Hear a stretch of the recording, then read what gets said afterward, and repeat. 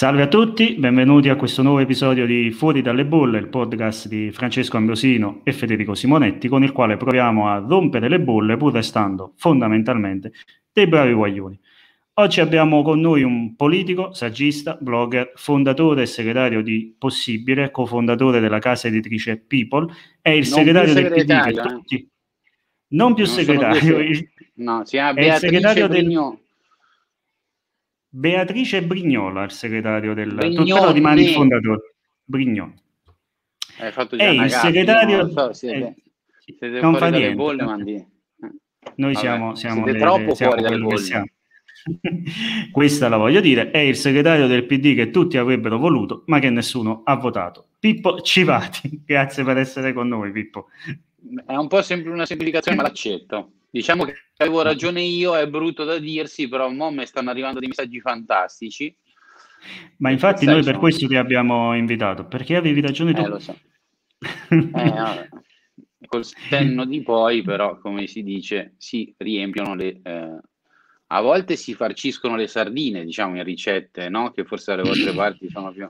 Visto che le sardine hanno fatto una specie di capolavoro, diciamo, nel giro di poche ore si sono compromessi un rapporto col PD, sì, eh? viceversa, eh sì. Poi lo stesso Zingaretti, Ma... che peraltro oggi ha fatto uno scivolone che ha pubblicato Sanders nel meme. Scusate, noi andiamo in onda eh, lunedì, ma qualche giorno fa Zingaretti ha pubblicato Mattarella che si vaccina col meme di Sanders. Cioè io, secondo me, hanno bisogno di un amico, qualcuno che parli con loro. Sì. Ma dica... io condivido condivido l'idea eh, che Duca Bizzarri ha lanciato qualche tempo fa, levatevi, levategli i social, cioè ma, manco affiancateli a un social media manager bravo, ma levateglieli, cioè non basta, non... si deve fare qualcosa no, per questo. Ci vuole l'esorcista, poi sai, lui fa anche delle scelte tipo andare dalla D'Urso più volte, cioè ringraziare tantissimo non lo so, è così. Eh, siamo noi che siamo, abbiamo la puzza sotto il naso. Peraltro è stato lui a spiegare perché non bisogna più votare il PD, cioè da segretario dimissionario. Ha detto delle cose terrificanti. Io non, non mi sono mai permesso di dire neanche quando ero arrabbiatissimo. Quindi siamo al paradosso che il segretario del PD dice, spiega perché il PD è invotabile ed è un progetto che è fallito addirittura anni fa. Pensa un po', quasi eh, si è civatizzato Zingaretti tutto d'un tratto, di colpo. Pam. Eh, vabbè, ma in ritardo. E comunque non è il Civati che vogliamo, diciamo. Non lo so adesso, questo io non mi permetto. Io come Quello che vogliamo noi due almeno. Allora, io sono uscito dalla politica seriamente, non ho accettato nessun sotto incarico, ripiego. C'erano tutti che sui social mi scrivono adesso vai a lavorare, basta, fa cazzo, figa. Cioè, perché erano simpatici. Eh, mi volevano bene tutti e quindi oh, mi sono messo a lavorare, ho aperto una casa editrice che ovviamente fa cose molto politiche, uh, in senso buono, in senso molto elevato, il più possibile, no? Più riusciamo a salire meglio è e veramente sono, mi sento fuori dalle bolle, eh, sono anche fuori dalle balle tra l'altro tecnicamente e questo è stato un sollievo per molti credo che sono terrorizzati che invece io dica adesso torno a incontro. Ma terrorizziamoli. Te, te, terrorizziamo qualcuno Ma io perché già... è anche bello. Ma io ho già detto che torno su tre cose, che sono mm. il clima, la progressività e la patrimoniale. Cioè anche un mantra, io penso che con l'ipnosi si possano cambiare le cose, quindi con un pendolo, anzi adesso devo procurarmi, avete dato un'idea geniale, adesso mi procuro un pendolo. Procurati un pendolo, assolutamente. Mi procuro un pendolo. Quello di Inception. Esatto, adesso me lo segno pendolo, perché se no me lo dimentico, sono, ormai sono anziano, non sono più giovane come una sardina scintillante. E, prend- con il pendolo, se voi fate così e dite clima, progressività patrimoniale, qualche risultato lo ottenete. Per esempio, Zingaretti, da quando ho iniziato a fare così sui social, ha iniziato a parlare di progressività, che erano dieci anni che la chiedevo però sono risultati, bisogna avere pazienza con questo paese, no? Non è che arrivano subito le soddisfazioni, è un po' come la Champions per la mia squadra, è un po' come lo scudetto per il Napoli, è un po' come la Serie A per il Torino, insomma, ci sono tanti fenomeni no, che si ripetono molto raramente, diciamo, nella, tipo la cometa di Alley. Ecco, dopo di... Allora, adesso stiamo provando un clima, anche se hanno messo nel nuovo governo di Strafighi, hanno messo uno che non c'entra niente, che ha delle idee sbagliate. Spero che non lo ascoltino. Quella è la transizione, eh no. come si chiama? La transizione... Ministero eh, della transizione ecologica. Quella capito, cosa là, bravissimo.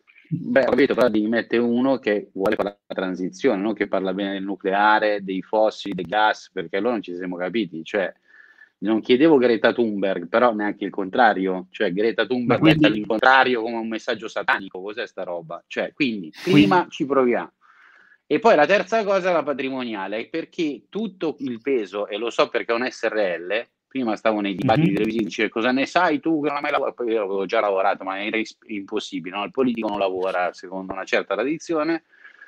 Certo. Adesso che ho una SRL vi posso dire che mi hanno appena aggiunto notizia di una conto di un, del fatto che abbiamo un surplus di IVA che cioè, ti salva la vita perché stai continuamente pagando F24, bollette, cose, se, un, se lavori. Se invece stai in un bagno con i sali, e hai una beh, magari due casette della zia e della nonna, sei a posto, perché nessuno ti viene a rompere le scatole. Questa cosa non può andare bene. La patrimoniale serve soprattutto a questo, ma serve soprattutto per i redditi e le ricchezze molto alte. Ed è incredibile che siano contrari alla patrimoniale quelli che non hanno la casa, manco la macchina, non hanno neanche, come dire, il milione di euro di patrimonio sul conto corrente non ce l'hanno e sono la stragrande maggioranza evidentemente delle persone, certo. sono contrari. Invece io sarei per tassare le rendite ovviamente usare quei soldi spiegando molto bene perché cosa si usano ed eventualmente detassare il lavoro che invece è un massacro.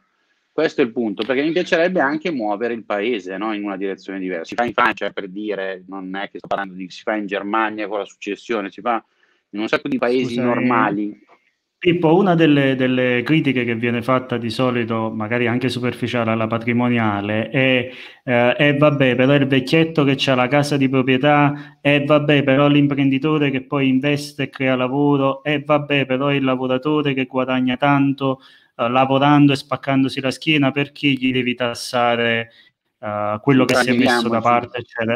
È un problema di comunicazione, cioè nel senso che la gente non capisce no, che magari è, non, no, non è un problema di comunicazione perché quelli che ne parlano di solito sono quelli che dovrebbero pagarla, no? I direttori di giornali, i politici, gli imprenditori. No, non è una battuta.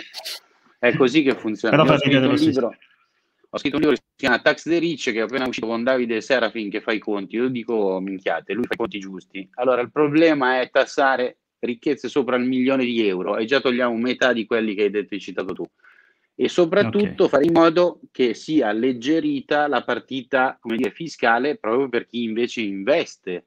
Era l'esempio che facevo prima. Se apri una SRL ti suicidi, se mantieni come dire, una casetta o due sopravvivi. Eh, ed è un paese che sopravvive. Infatti una delle cose più incredibili è stata eh, la, la, la movimentazione del mercato immobiliare sulla questione dei bed and breakfast, perché io abito a Verona e c'era, come mm-hmm. dire, un bed and breakfast in ogni angolo. Adesso con il Covid molti si sono chiesti di ridarli in affitto, ovviamente temporaneo, no? Perché aspettano che torni il bed and breakfast, giusto?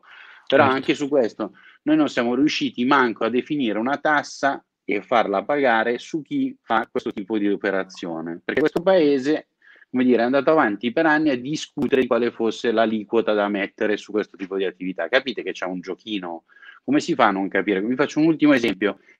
Il catasto risale a quando sono nato io, che come vedete ho 80 anni, assomiglio sempre di più a Kurt Vonnegut, quindi sono, sono giovane.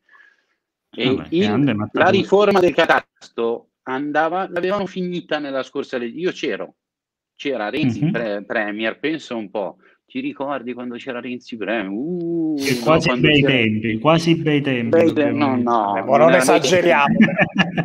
Ho detto quasi. Anche, non diciamo cose che non cose possiamo dimostrare. Esatto, perché oggi è incazzatissimo, querela tutti, un'altra, un'altra trovata. Sta venendo un'altra parola che iniziava per troppo, ma è una trovata.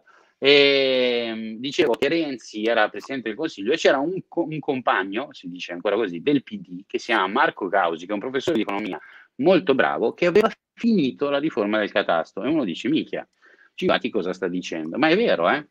Solo che siccome si stavano facendo le riforme costituzionali con Berlusconi e con Verdini, a cui dedichiamo poi un momento di raccoglimento, diciamo, per le sue vicende extrapolitiche, si bloccò. E pe- sapete chi fece la dichiarazione che bloccò la riforma del catasto? Maurizio Gasparri. Questo è questo paese. Okay, allora, allora, no, non è che applausi, però capito, è così. no, no, io infatti volevo passare, Volevo passare alla domanda, eh, perché così, così se superiamo Gasparri, perché su Gasparri uno si deve per forza, cioè cambia argomento, se arrivi a Gasparri cambia argomento. Dacci, perché tu prima ci hai sbagliato tre... argomento se arrivi a Gasparri. tu, tu, prima ci hai dato le tue tre priorità, no? E ci hai detto clima, patrimoniale. Io adesso ti chiedo tre motivi Vai. Pratici e concreti, concreti, non ideologici, per non sostenere il governo Draghi. Tu sei stato un po' critico all'inizio, poi dopo con la composizione del governo ancora di più, i suoi sottosegretari, e avevi ragione.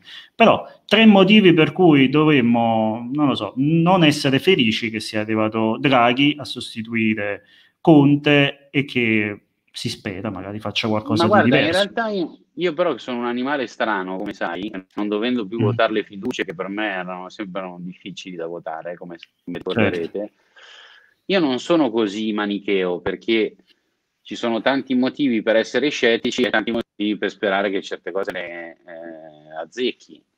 Quindi è più da, se vuoi ti do dei motivi pro e contro all'una e l'altra cosa, se mi consenti di Vai. sviluppare un ragionamento più articolato. Allora, sicuramente, sicuramente quelli che, come dire, si erano affezionati troppo a Conte sbagliavano e secondo me Draghi ha per tante ragioni più peso e più utilità, anche perché stiamo vedendo che alcune critiche che erano rivolte a Conte non erano così campate per aria, questa vicenda dei vaccini, la, il protagonismo di Arcuri, un certo, come dire, una gestione molto politicistica di questioni che invece riguardavano la salute dei cittadini, insomma, diciamo che non rim- io non lo rimpiango, visto che Bersani voleva addirittura fare il partito dei Conte, spero che abbia cambiato idea. Vedo strane convergenze, no, eh, però è così, ragazzi. Non, poi faccio lo spiritoso, ma dico sempre cose. Non no, so no, ma no, no, sei, purtroppo, sei purtroppo è così. Purtroppo è così. Quindi il passaggio a Draghi di per sé non è una tragedia. L'allargamento della maggioranza è invece inquietante, anche perché Salvini, per esempio, oggi no, si parla di lockdown e Salvini dice col cazzo che si fa il lockdown. Eh no, parla, dovete passare sul mio cadavere. Poi dopo magari, come è noto, cambia idea, perché Salvini è diventato europeista, avete visto, antisovranista, sì, a sì, favore sì, dell'euro. Ha anche smesso, secondo me, ha anche smesso di, di, come dire, di frequentare certi posti, perché sapete che era sempre un po' stropicciato. È diventato più istituzionale. Però quanto dura sta cosa? Perché poi, come sapete, arriverà una campagna elettorale dopo l'elezione del Presidente della Repubblica. E l'elezione del Presidente della Repubblica è fra un annetto, e quindi Insomma, stiamo attenti con i tempi della politica. Quindi ho dato un motivo favorevole e uno contro. Non mi è piaciuta la composizione del governo, non ci dovevano stare i politici, non ce la fanno e eh, non riescono a starci dentro, diciamo, cioè non riescono, scusate, a stare fuori dalle bolle, devono stare dentro le bolle e questo secondo me ha viziato moltissimo la credibilità di quel governo. Lo dico sinceramente, al di là dei nomi, perché poi uno fa la caricatura di ciascuno, però è chiaro che se io non metto nessuno, non ho nemmeno Brunetta e la Gelmini, no? Se io non pretendo di mantenere mhm. un posto, non ho Di Maio ancora al Ministero degli Esteri, che oggi ha fatto un'intervista su Avvenire, che uno, non so, veramente, cioè, più che il Ministero degli Esteri, è il Ministero che ti invita ad andare a, vivere all'estero, diciamo. Esatto, diciamo che ha più, ha più, credibilità il vaso degli esteri di propaganda che non uh, il Esatto, cioè è, un, è, un, è un ministero ottativo che ti invita ad andare all'estero, diciamo, Di Maio non nei paesi con cui facciamo affari, perché sennò ti imprigionano, ti torturano e nessuno scopre la verità dopo cinque certo. anni. Lo stesso per Zacchi, lo stesso per mille altre situazioni in cui no. boh, noi dormiamo. Ma quindi va, bene, quindi va bene il governo tecnico, secondo te? No, se si fa il governo del presidente, che è una bella espressione, tra l'altro Mattarella quella sera lo spiegò facendo tipo il VAR, no? Spiegò la metoda che non si può... Cioè sembrava una, eh, una cosa per persone problematiche, non la spiegava proprio scandendo le parole. cioè, quindi, si faceva il tutorial da WikiHow, tipo, cioè il esatto, faceva il WikiHow del governo del presidente. Siccome non siete riusciti a trovare la quadra, vi spiego io come si fa, no? Diciamo, e quindi eh, glielo spiegò. Ed il governo del presidente si basa evidentemente sul riferimento politico dei tecnici. I tecnici puri non esistono, Draghi non è puro perché Draghi è un uomo che viene da un mondo e ha frequentato ambienti ed è stato vicino a persone, cose, fondazioni. Adesso non sono dietrologo perché lo sanno tutti. Lo stesso possiamo dire, io per esempio ho una grande stima di Enrico Giovannini, che è un ministro del governo Draghi, che ha frequentato altri posti, altri luoghi, e no, io mi fido di più di lui per dire che di altri. È chiaro che Giovannini è un po' più di centro-sinistra, Draghi di centro-centrodestra, come ideologicamente, no? Sulla, se dobbiamo tirare una riga, sapete fare i compassi, eccetera. Se però mm-hmm. i ministri sono indicati così, evitiamo di riproporre. A me sembrava l'All Star Game degli ultimi vent'anni quel governo lì. Cioè, ma posso dire, almeno c'era cioè, LeBron James nello Star Game, però scusami. Eh. Ah, appunto, senza LeBron James, però se mi bruci le battute va bene che siete brillantissimi, però stavo arrivando lì, diciamo. Perché no, rompiamo le bolle. Ti faccio la ribattuta. Allora, Michael Jordan, perché i tempi erano quelli là, capito? No, davvero, non sto scherzando, io sono tornato un ragazzino, cioè quando mi dai una Gelmini io ritorno a quei tempi in cui facevo... Pensa a me, io stavo al liceo eh, con la Gelmini io, io stavo al liceo, capito? Esatto, quindi sei tornato, sei tornato ai bei tempi della maturità. E quindi, per dire che non è che c'è una preferenza, però se si fa una cosa è meglio farla così. Aggiungo un terzo elemento che non mi piace e che allo stesso tempo mi auguro venga sistemato presto. Non c'è un programma sto governo, che è l'abitudine di tutti gli ultimi milioni di governi di questo paese. È una roba che a me fa impazzire perché il programma di governo deve essere, che non è il patto di governo in cui ci sta dentro tutto, sparate, senza soldi, cioè devono essere veramente esattamente come clima e progressività patrimoniale per capirci, adesso mi cito per prendermi in giro, eh. però devono essere delle cose molto chiare che vengono definite in modo no, strategico, scusatemi soltanto non ti preoccupare. un secondo perché Quindi, devo secondo te il, un caricabatteria questo telefono, se no ci abbandonerà sul più bello. Nel, nel, nel, frattempo che, atta- che, attacchi il caricabatteria, ti chiedo, che mi collego a questo, sì. uh, quindi il discorso di Draghi alla Camera e al Senato per te non aveva nulla di programmatico? Anche se per larghissime vago, linee, però, eh, troppo vago. vago. Allora, di alto profilo, perché l'uomo, ripeto, è di altissimo profilo e nessuno discute, perché poi bisogna avere anche un po' il senso della misura. Eh? Cioè, qui c'è gente che non ha veramente non sa neanche da dove si incomincia. Draghi invece è uno che ha un'esperienza internazionale, non mi rappresenta politicamente, però insomma nessuno può dire che non è preparato. Ho letto, avevo citato Bizzarri che fece un, un post fenomenale, gente no, che ha sempre rivendicato di non saperne niente, che se la prende col curriculum di Mario Draghi, cioè i pazzi proprio, no? I pazzi furiosi. Mm-hmm.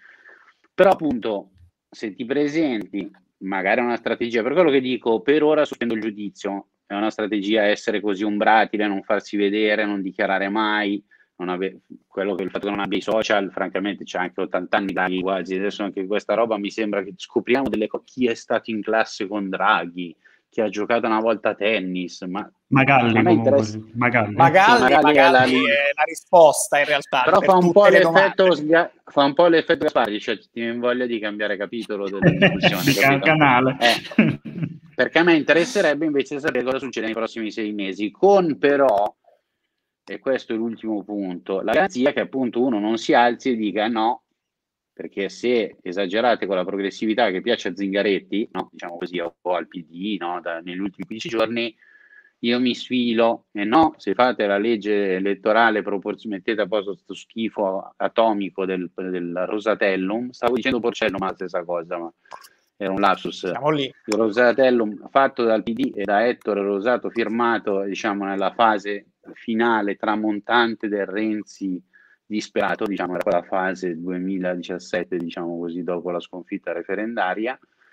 Eh, però se dopo quello non gli va bene il sistema elettorale rinnovato, ci teniamo il vecchio, capito? E tutto va avanti così, tutto fino a incartarsi, come capitò a un altro che si presentò in una situazione diversa perché lui doveva chiedere soldi, invece Draghi dovrebbe darne, mm-hmm. anche se sappiamo Molti. che la recessione colp- eh, colpisce molto, eh, attenzione perché tutti questi soldi del recovery plan, però guardate fuori dalla, dalla, porta di casa, diciamo cosa sta succedendo in questo paese, per cui non so quanto sia diversa la situazione con, con Monti, Monti però doveva chiedere oggettivamente. Certo. E se vi ricorderete, io adesso vi racconto una cosa che non ho mai detto forse in pubblico. Ad un certo punto io chiesi che il governo Monti durasse solo fino a giugno, perché ero certo che avrebbe, non ero in Parlamento, ero un libero battitore. E scrissi a Ezio Mauro, che era direttore di Repubblica, dicendo guardate che lo scrivo con umiltà, ma secondo me se scavagliamo l'estate è un pasticcio. E Ezio Mauro, che è una persona che stimo molto, scrisse una risposta molto sobria è la cosa più stupida che abbia mai letto. Ah. Secondo me non era pianissimo. Caro Ezio Mauro, non era così stupida perché da allora, se vi ricordate, la stessa discussione che rischiamo di fare la prossima estate, la facemmo perché Monti poi si fece il partito, perché poi non ci si disincagliava dalla presidenza della Repubblica, che Monti voleva diventare presidente della Repubblica, però partecipò alle elezioni no? e, volle, e volle addirittura diventare presidente del Senato da premier, che era, vi ricordate, cioè un disastro sì, sì. epocale. Il PD perse miliardi di voti scegliendo di fare, come sempre, la forza più responsabile, più centrista, più moderata. Sì, però, Pippo, Scusami, io dimmi. una cosa che mi viene, mi viene, in mente è che a furia di eh, richiamarsi all'essere responsabili, poi a un certo punto i cittadini dicano sì, è vero, siete voi i responsabili, cioè proprio nel esatto. senso di dire è colpa vostra. E questo certo, mi porta sono... ad, ad, un'altra domanda che insomma è abbastanza uh, pertinente. Io ho l'impressione che eh, so, sono due domande. Da una parte mi sembra, io ho una storia di militanza nei partiti della sinistra, eh, ma mi sembra che la, in generale il centro-sinistra, la sinistra si sia sempre più interessata a far perdere gli altri o impedire la vittoria di qualcun altro, anziché di vincere in qualche modo eh, per sé però faccio anche un'altra considerazione. In realtà tante delle battaglie, soprattutto ovviamente quelle per l'estensione di alcuni tipi di diritti tra gli anni 60 e 80, si sono ottenute senza in realtà aver mai avuto una vittoria epocale, no? Cioè il Partito Comunista non ha mai ottenuto una, eh, una maggioranza di governo, eppure cioè, cioè, da una parte vedo che si va tutti a, a, a performance sulla vittoria, snaturando anche molti dei propri temi. Dall'altra parte però la vittoria è più focalizzata nell'azzoppare gli altri che nel correre per i fatti tuoi. Cioè, in questo, cioè, perché succede tutto questo? Magari tu che hai una visione un po' più dall'interno ci puoi, ci puoi illuminare o almeno c'hai un'idea tua, dato che giochi a questo gioco, hai giocato a questo gioco per un po', insomma. Beh, allora qui c'è un, mi hai fatto una domanda, avete tutta la notte? Io poi a un certo punto vi devo salutare per via della babysitter, però questo è E noi restiamo qua, non ti preoccupare. Se lui dirigesse un grande giornale avremmo un paese diverso. Allora, la domanda si compone di tante questioni che cerco di snocciolare. La prima, l'argomento di fermare gli altri, noi di possibile diciamo sempre chi ferma è perduto, perché questa stronzata che bisogna fermare Berlusconi non è una stronzata, cioè la, l'idea che la, l'unico motivo di qualsiasi cosa sia fermare l'avversario è perdente, perché a quel punto vale tutto, facciamo un'alleanza con tutti, eh? e infatti facciamo l'alleanza con tutti poi di fatto.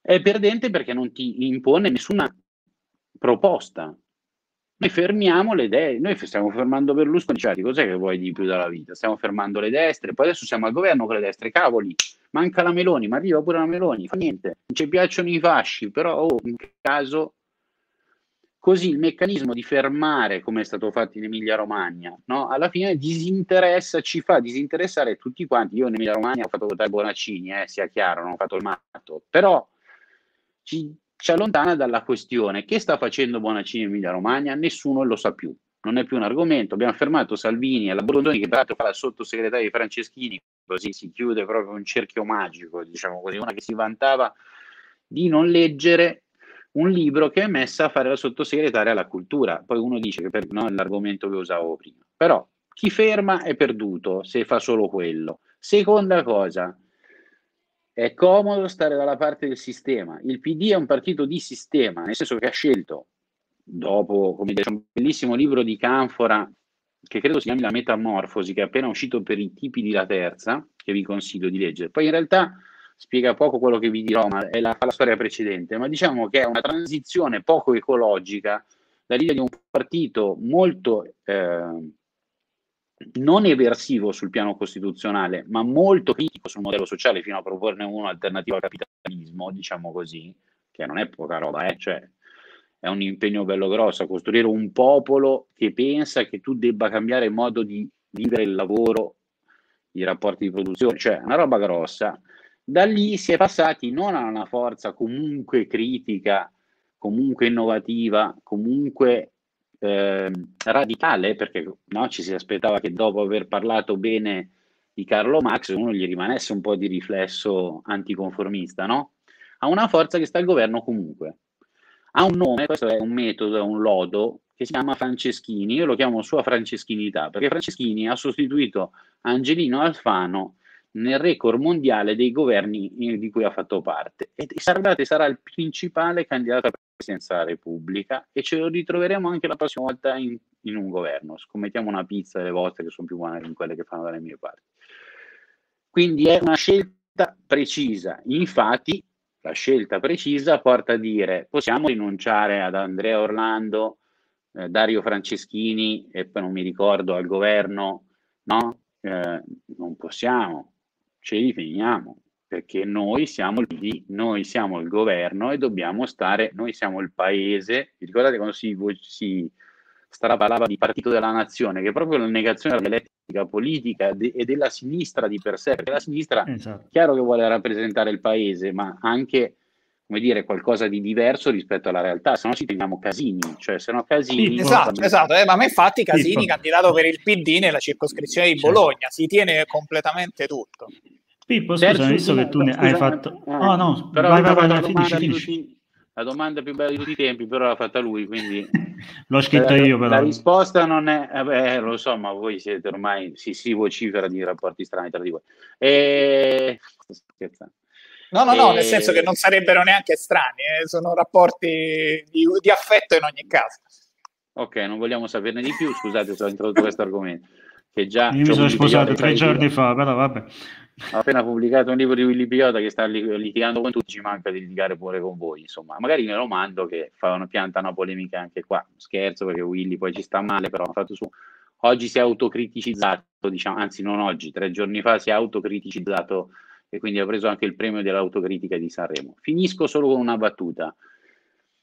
La, la compon- composizione di questi due elementi, cioè fermare gli altri, che vuol dire fermare se stessi, impalarsi, e stare là a tutti i costi nega la caratteristica più ovvia di un partito riformatore di sinistra, qual, quale esso sia. Perché se ci pensate, un partito così non è di sinistra, è un partito di centro, disponib- è un partito non strategico, interessa la tattica, il palleggio a centrocampo, diciamo, è un partito sarrista senza nemmeno pressare poi perché no? ti tiene tutti dietro, diciamo, una linea molto bassa. E un Mastella ci starebbe benissimo, capito? Anzi, la domanda è, come diceva, come ha detto bene Lundini nella no? una sola chiesa da, da Che Guevara, Madre Teresa, alla fine annichilisce tutto, perché quello che dicevi tu è che anche dall'opposizione si possono cambiare le cose, o comunque fare delle battaglie che adesso sembrano perse. L'ultima, la cosa più incredibile, è vedere la mia proposta sulla tampon tax che è di ormai di cinque anni fa, che adesso è diventata mainstream, parla... a me viene da piangere perché quando ne parlai io sembrava che avessi dato una minchiata, tutti ridevano, la litizzetto mi attaccò in prima serata, cioè delle cose da matti. Adesso sono tutti a favore, no? Anzi, fa figo dirlo. Poi non la fanno la legge, però tutti no. raccolgono firme. No, c'è un lavorio intorno agli assorbenti quasi quasi un po' mormoso, voglio dire io che sono iniziato per primo, ragazzi calma perché vi state occupando troppo degli assorbenti, fate la legge, non fate le petizioni, esatto. vai al supermercato c'è lo sconto, fate una banalissima legge. E perché non la fate?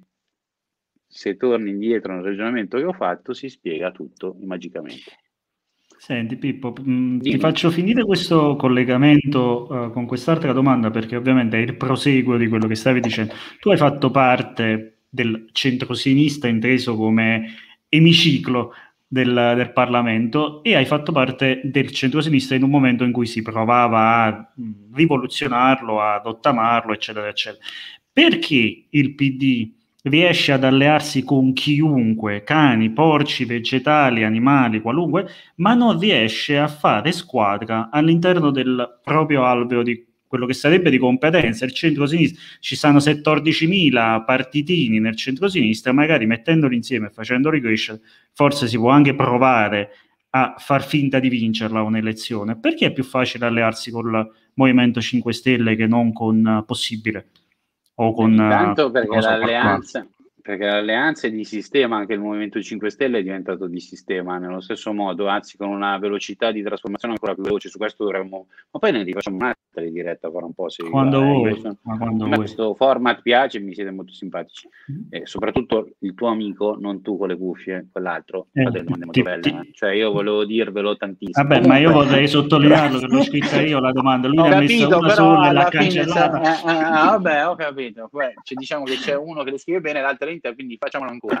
Io sono un grande però, attore, perché... d'altronde sono stato anche il suo attore feticcio. Il mio attore feticcio quando facevamo i cortometraggi da ragazzo, vedi? Eh, eh, andate, va tutto un po' così, siete, siete perfetti come coppia, diciamo. Allora, il punto è questo, che intanto bisognerebbe rispondere ai WhatsApp, lo dico con una battuta, però Beatrice Brignone, che prima citavo come segretaria di Possibile, ha una, dire, una conversazione con Zingaretti da, come potete immaginare, no? noi ci si conosce tutti, ci scriviamo, certo. anche se magari poi no, io ho pensato ogni tanto ci scriviamo anche con Renzi, no? perché tutti pensano che ci odiamo, ma no, è la politica che ci ha diviso, no, ci sono un sacco di leggende, di, di malizie. In verità, in quella chat però scrive solo Beatrice Brignone, cioè Zingaretti non ha risposto mai. Mai. Ha perché lui risponde solo alla risposto, rispo- esatto, la battuta verrebbe facile. Ha risposto solo una volta con tipo clap clap con le mani con un emoji.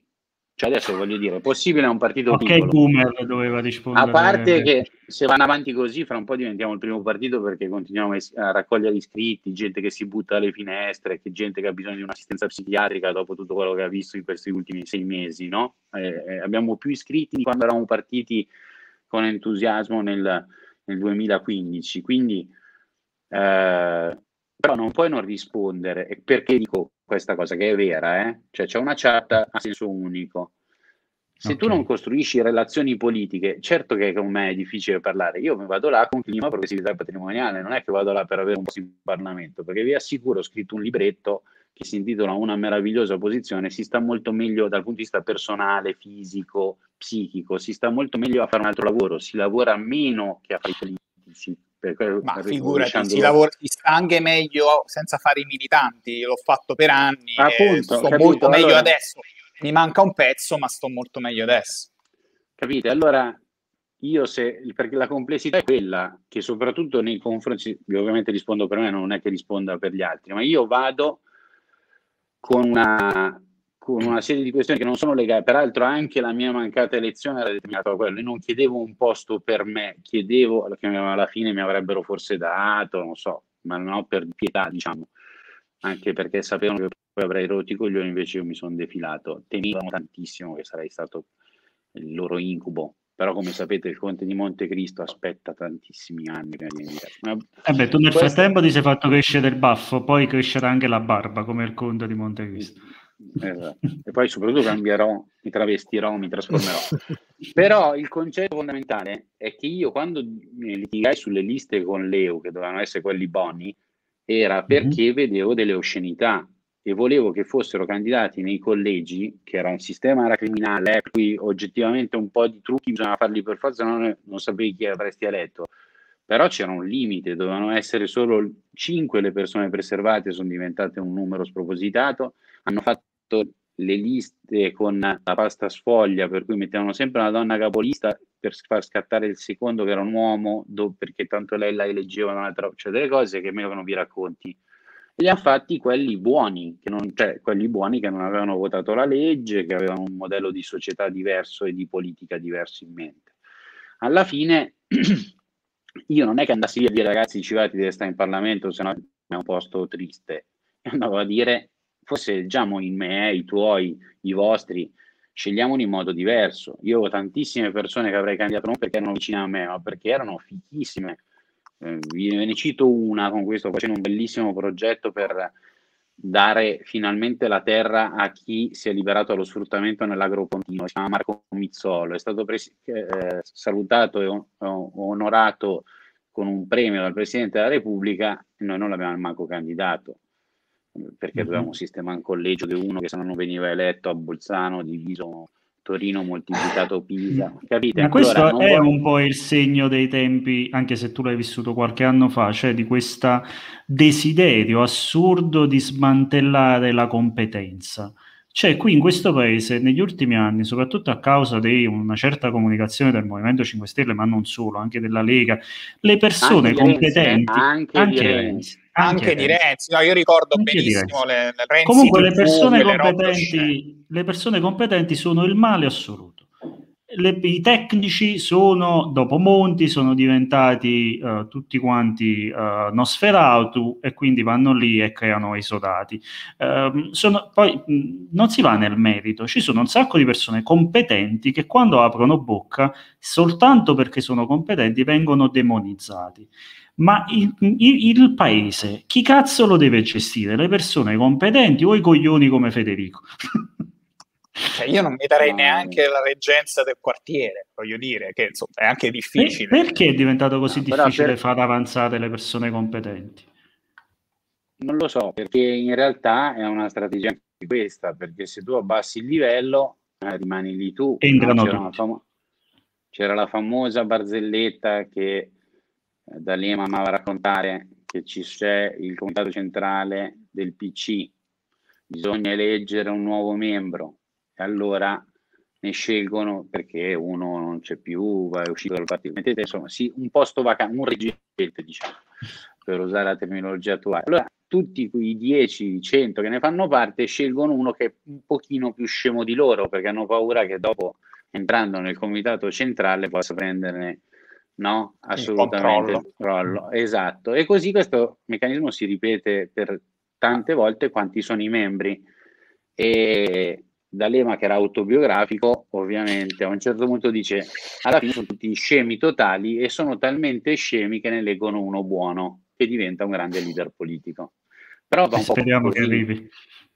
Appunto, aspetti, stiamo aspettando da mo', diciamo. Tra l'altro D'Alema si dimi- per dire come il tempo non passa mai, D'Alema si è dimesso nel 2001 da ogni incarico, diciamo. Poi è tornato a fare il ministro degli esteri nel 2000, cioè noi stiamo parlando di, no, di uno di vent'anni fa è che però alla fine vedrete che l'anno prossimo quando c'è da votare il presidente sarà in campo, no? Come fu in campo con i, quando ci furono no, i 101. Noi a, a Napoli eh. si è candidato sindaco di nuovo Bassolino, Bassolino. dopo 25 anni. Eh, per carità, uh, Pippo, io ti voglio far chiudere anche perché so che hai altri impegni, non ti voglio far andare lunghi e quindi ti diamo tutto il tempo che vuoi fin quando non ti scappa via la babysitter, se ho capito, e devi andare. Parlaci di Patrick ti diamo tutto il tempo che vuoi perché sappiamo che è una battaglia che tu porti avanti da un anno e passa, ogni giorno c'è un tuo tweet maledetti, ve lo ricorderemo ogni giorno, quindi noi ti diamo il nostro spazio per quello che può servire per parlarcene, spiegarci chi è, che cacchio è successo e perché è importante parlarne. Ma int- guarda, intanto è importante parlarne perché una delle cose che la politica si è dimenticata è che l'umanità delle persone, la loro il loro corpo, la loro dignità è l'unica cosa che conta davvero, non vincere come dicono gli Juventini con quello slogan poi che porta sfortuna. L'unica cosa che conta non è vincere a tutti i costi, come abbiamo detto finora, è salvaguardare la dignità e il rispetto delle persone, delle classi lavoratrici, insomma, mettete, ognuno ci metta la sua preoccupazione. E nel caso di Patrick c'è un elemento in più, perché è vero che non è italiano, ma fa parte della nostra comunità tra l'altro io sono stato ammirato ta- tantissimo dalla risposta di Bologna, dell'università, ho molto apprezzato un coro che si è elevato, molto sincero e davvero da compagni di classe, da colleghi di, di studio, insomma, come potremmo fare noi, no? se uno dei tre fosse nei guai dopo una conversazione come questa, molto amichevole.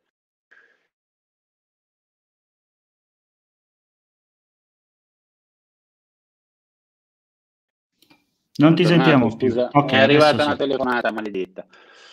E, dicevo che la, l'amicizia che dovremmo nutrire e far valere sulla, sempre, prima di ogni altra cosa, sulle questioni internazionali come su quelle nazionali, penso anche alla partita dell'immigrazione, alla Libia, ce ne sono tanti di casi che potrei evocare. Quell'amicizia invece è spostata sugli interessi sempre.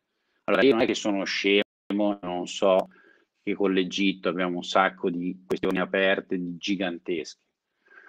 Però pretendo che prima di firmare contratti dell'ENI, parlo di persone, cose che si mangiano, che si capiscano, prima che la nostra uh, industria, il, come dire, il pacchetto bellico che comunque in Italia ha sempre fortuna perché tutti questi governi progressisti hanno cambiato di una virgola la spesa come dire per gli armamenti abbia bisogno di vendere le armi a chi le usa no? Noi le usiamo meno, allora le vendiamo a regimi che le usano. Peraltro in contrasto con una legge che fece il governo Andreotti nel 1990, la legge 185, che vieterebbe, perché a questo punto nessuno l'ha mai rispettata, di vendere le armi a paesi in guerra o che non rispettano i diritti umani. Pensate un po', sembra fatta apposta, diciamo, no? Per tutte le cose che sto dicendo. Ecco, abbiamo venduto le fregate, che si chiamano così, fa anche un po' satira, a Natale. Cioè a Natale è uscita la notizia che noi, cioè, capito, per festeggiare il Natale, invece dello spirito di amicizia degli amici di Patrick di Bologna, noi abbiamo dato ad Al-Sisi le fregate.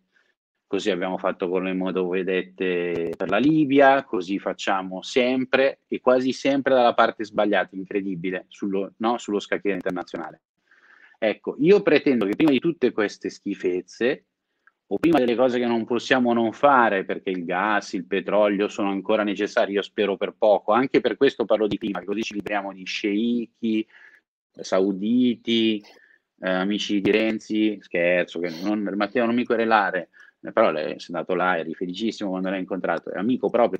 Nuovo e, rinascimento. Questo nuovo rinascimento. Nuovo, nuovo rina- ecco, a me il nuovo rinascimento non piace, ne vorrei proprio un altro, un altro tema, un altro momento eh, storico, un'altra era proprio geologica, nella quale facciamo delle cose che ci liberano e ci rendono indipendenti da questi sistemi di potere. Nel frattempo, che non si può fare dall'oggi al domani, pretendo che non si dicano le solite cose rituali, ma che si vada in questi paesi a dire se non cacciate la verità su Giulio Regeni, se non liberate Patrick, non gli fate un, finalmente un processo, noi le fregate non ve le vendiamo. Faccio un ultimo esempio per spiegarmi, che sono andato lunghissimo io a mia volta, mi scuso.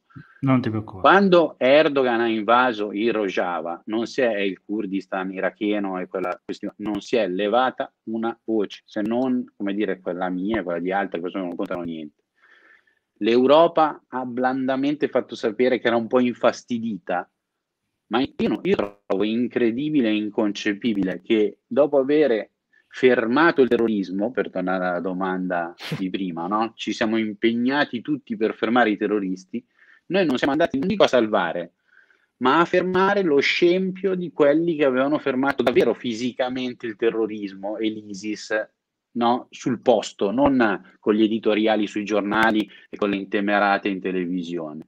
Anche su quello, totale. Anzi, ah, l'unica persona, anzi. Se posso citarla, è di Marcucci, che per essere andata a combattere contro l'ISIS è considerata la stregua di una foreign fighter e quindi è praticamente gli arresti domiciliari, una formula che risale ai tempi del fascismo, che è rimasta incredibilmente nel nostro codice, nel nostro comportamento, diciamo, giudiziario. Lo dico pensando al Tribunale di Torino che ha fatto questa cosa incredibile di confermarle i due Mi anni. Stavo riferendo proprio a quello, cioè esatto. quelli che lo hanno fatto proprio fisicamente, che si sono messi in mezzo per dare una mano a chi stava contrastando l'avanzata del, diciamo, dell'imperialismo islamista, insomma di quello nero, eh, viene fondamentalmente chiusa in casa, è reclusa in casa perché è una terrorista, è terrificante questa cosa dal mio punto di vista. Esatto, quindi la cosa che conta, per finire, poi vi devo salutare davvero sì. perché mi trasformo in una zucca, diciamo, il punto è la persona umana, se ci pensate, che fa parte poi di tante tradizioni della politica del nostro paese, no? anche quella democristiana, per esempio. Eh, a me piacerebbe però certo. quella legge che citavo, Andreotti, era il governo Andreotti Martelli, cioè non è che sto chiedendo la luna, eh, erano super moderati, diciamo, erano a pentapartito, era CAF, era grande, no? tenuta, un po' come adesso, solo che almeno certo. c'erano dei limiti. Adesso i limiti mi pare non continuano, anzi sono vissuti con come dire, come degli ostacoli, ecco, da non rimuovere, contrariamente Danno a quello fastidio. che dice l'articolo 3 della Costituzione italiana. Così finisco alla Gianni Cooperlo Salutiamo il compagno Cuperlo. Cuperlo. Cuperlo, eh, Cuperlo è, è sdrucciolo, Cuperlo. Cuperlo, Cuperlo. Pippo, io ti ringrazio tantissimo per la disponibilità, la cortesia. Se vuoi tornare, ma grandissima disponibilità quando vuoi, tanto di argomenti. Io volevo parlare di editoria, ma non ce l'abbiamo fatta. Magari eh no, facciamo un'altra puntata. È impossibile, è impossibile.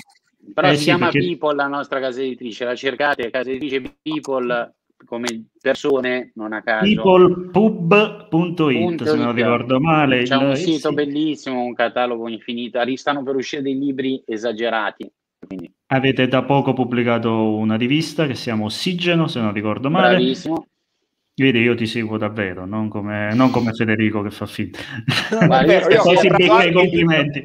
Poi si becca avevo... il libro di Marcox in tutto questo, quindi cioè, Bravo, contribuisco attivamente, eh, è molto bello esatto. tra l'altro.